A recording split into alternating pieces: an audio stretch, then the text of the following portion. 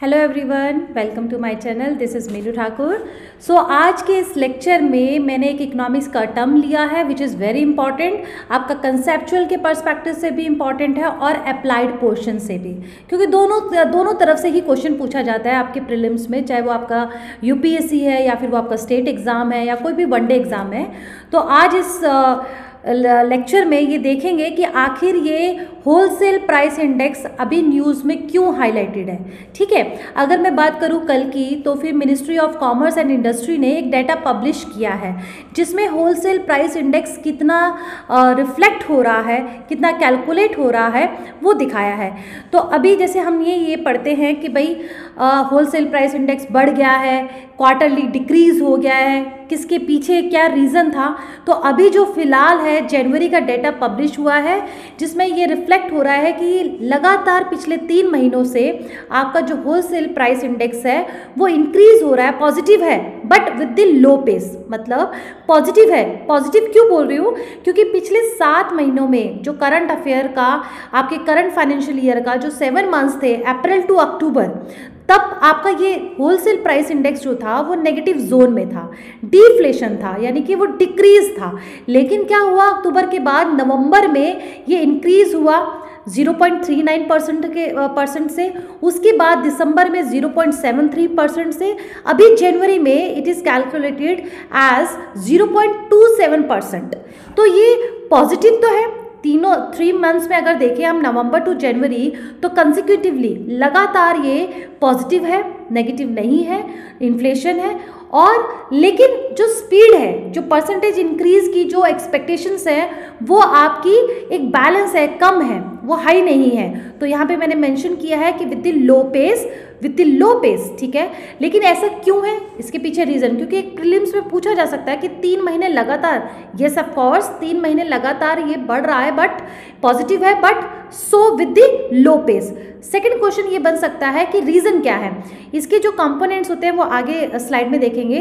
ये मेनली क्यों ऐसा हो रहा है? ड्यू टू जो फ़ूड प्राइस है आप कहेंगे फ़ूड प्राइसेस तो कम नहीं हुए फ़ूड प्राइसेस राइज है but percentage in terms of increase की जो स्पीड है, जो परसेंटेज है, वो डिक्रीज हुई है, ठीक है?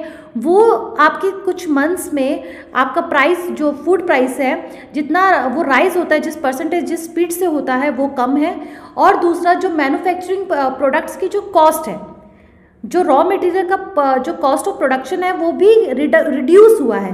ड्यू टू वेरियस इनिशिएटिव्स और measures taken by the government क्यों लिए गए हैं? ताकि जो रिटेलिंग प्राइस है, वो आपका इन्फ्लेशन डिक्रीज हो सके। वो रिजनेबल प्राइस पे जा सके मार्केट में डिमांड एंड सप्लाई को बैलेंस करने के लिए। तो ये ये कारण है, ये रीज़न है जिसकी वजह से आपका जो होलसेल प्राइस इंडेक्स है, वो with the low pace positive हो रहा है। ठीक है? आपको ये फैक्ट भी याद रखना है, आपको ये फैक्ट रखना है याद कि जो आपका पिछले तीन महीनों से ये इन्फ्लेशन है होलसेल प्राइस इंडेक्स इंडेक्स का, वो माइल्ड है, वो कम है, बहुत ज़्यादा नहीं है। दूसरा, ये डीफ्लेशन के बाद, ये डीफ्लेशन के जो मंथ्स थे इस ईयर के, वो सेवन मंथ्स थे जिसमें आपका होलसेल प्राइस इंडेक्स जो था, वो माइनस में था, ठीक है? और उसके बाद सडनली ये पॉजिटिव में आया। तो ये जो एक स्लाइड है जिसमें आपका पूरा अप्लाइड पोर्शन था, जो करंट अफेयर के पूछा जा सकता है, वहाँ पे आपको लड़खड़ाना नहीं है, ठीक है? अब ये होलसेल प्राइस इंडेक्स होता क्या है? ये जैसे कि नाम में ही है होलसेल ये होलसेलर की तरफ़ से देखा जा रहा है। It is the index that tracks the changes in price and inflation of the product sold at wholesale rate जो भी होलसेल रेट में जो भी सामान, जो भी जो भी कॉमोडिटीज़ है, जो भी प्रोडक्ट्स रखे गए हैं, उनके जो एवरेज प्राइस में जो चेंजेस आते हैं that reflects through this wholesale price index ठीक है? अब, हमारे इंडिया में दो इंडेक्स है। जब भी बात आती है होलसेल प्राइस इंडेक्स की तो दिमाग में दोबारा घुसता है कंज्यूमर प्राइस इंडेक्स तो जो सीपीआई है और जो आपका डब्ल्यू है, इन दोनों में क्या डिफरेंस है, ये थोड़ा सा गोथ्रू करेंगे। जो होलसेल प्राइस इंडेक्स है, वो होलसेलर के पॉइंट को देख के रखा जाता है, उसको देख के कैलकुलेट होता है। जो सी है that measures price changes from the perspective of retailer ठीक है? जो रिटेल बायर है, जो कंज्यूमर है, यहाँ पे आपका कंज्यूमर है, यहाँ पे आपका होलसेलर है, इसीलिए सीपीआई को रिटेल इन्फ्लेशन ये रिटेल इन्फ्लेशन के नाम से भी जाना जाता है। जो होलसेल प्राइस इंडेक्स है that is published by the office of economic advisor that comes under the ministry of commerce and industry ये जो आपका है, ये एनएसओ जो आपकी ministry of statistical and implementation ministry है, उसके अंदर आपका आता है एनएसओ वो आपका रिलीज़ करता है इस डेटा को। उसके बाद जो होलसेल प्राइस इंडेक्स है, ये वाइडली यूज़ पहले क्या था 2014 में रिकमेंडेशन आई, उससे पहले क्या था, हम इंडिया का जो नेशनल लेवल पे इन्फ्लेशन को कैलकुलेट करते थे on the basis of wholesale price index ठीक है?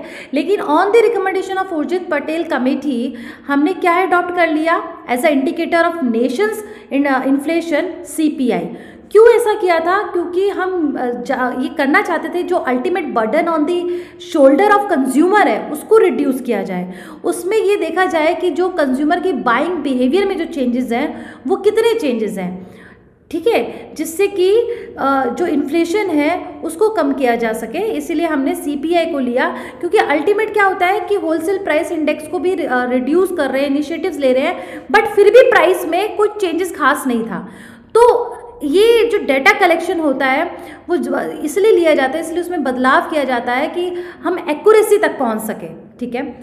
होलसेल प्राइस इंडेक्स जो है इसका जो बेस ईयर था वो 2004 और 5 था। ये क्वेश्चन का, काफ़ी पूछा गया है वनडे एग्जामिनेशन में। आपको अभी पता भी होना चाहिए दूसरे एग्ज़ाम्स के लिए भी कि 2017 में इसका बेस ईयर 2004 से इंक्रीज होकर 2011-12 हो गया है ठीक है? और सीपीआई का 2012 ही है।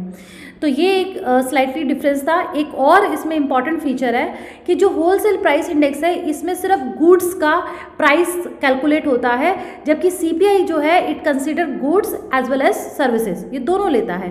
कंपोनेंट्स की बात किया जाए, जहाँ पे क्वेश्चन और बन सकता है, तीन कंपोनेंट्स है primary articles fuel and power manufactured goods ठीक है? जो फ्यूल एंड पावर है उसमें आपका पेट्रोल, डीजल ये सब आ जाएगा। मैन्युफैक्चरिंग में आपका textile, chemicals so all this manufacturing industry comes under this manufactured goods primary में आपका जितना फ़ूड आर्टिकल्स है एग्रीकल्चर है मिनरल्स है वेजिटेबल्स है these comes under this primary articles अब ये एक चैट है, ये जो चार्ट है इसमें ये देखना है कि भाई जो ये तीनों कंपोनेंट्स हैं, उसमें किसका वेटेज सबसे ज़्यादा है।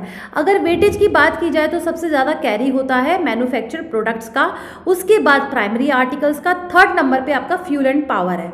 अगर आप देखो 2023 का, नवंबर, दिसंबर और जनवरी का तो continues fuel and power and manufacture products का आपको इन्फ्लेशन लगातार घटते हुए नज़र आएगा। देखिए, चार, minus four, minus two minus zero पे आ गया।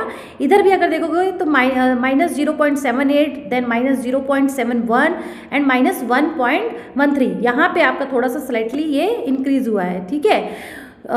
तो इस तरीके से आपका ये आपका चार्ट है। उसके बाद आपका ये जो प्राइस इंडेक्स है, क्योंकि यहाँ पे अगर हम बात करें, यहाँ पे आपको लेफ़्ट कॉलम में ये इंडेक्स दिख रहे हैं। तो इंडेक्स होता क्या है? Basically it is a normalised average of prices जो एवरेज प्राइस निकालते हैं, एक बास्केट है, उसके अंदर जितने भी मान लो सौ कॉमोडिटीज़ लिया है, उस सौ कॉमोडिटीज़ का एक प्राइस इंडेक्स देखेंगे कि उसमें एक एवरेज कितना प्राइस में रिफ्लेक्शन है। अब वो सौ कॉमोडिटीज़ किसी एक कैटेगरी से कॉमन होनी चाहिए, ठीक है? इसीलिए कैटेगराइज किया गया है फ़ूड का अलग है फ्यूल का अलग है मैन्युफैक्चरिंग का अलग है, ठीक है?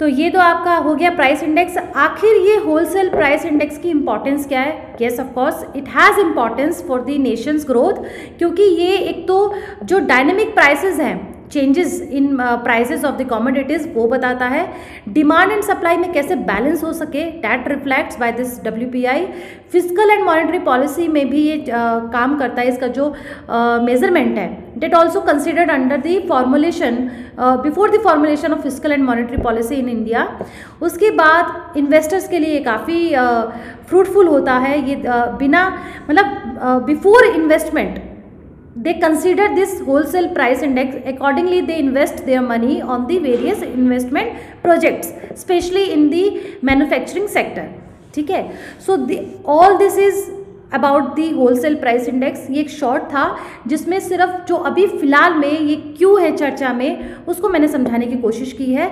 डिटेल में हम होलसेल प्राइस इंडेक्स कैसे कैलकुलेट होता है, क्या फॉर्मूला है that will be deal in the proper economics play ठीक है, जो लेक्चर होगा डिटेल में इन्फ्लेशन का, उसमें हम डिस्कस करेंगे।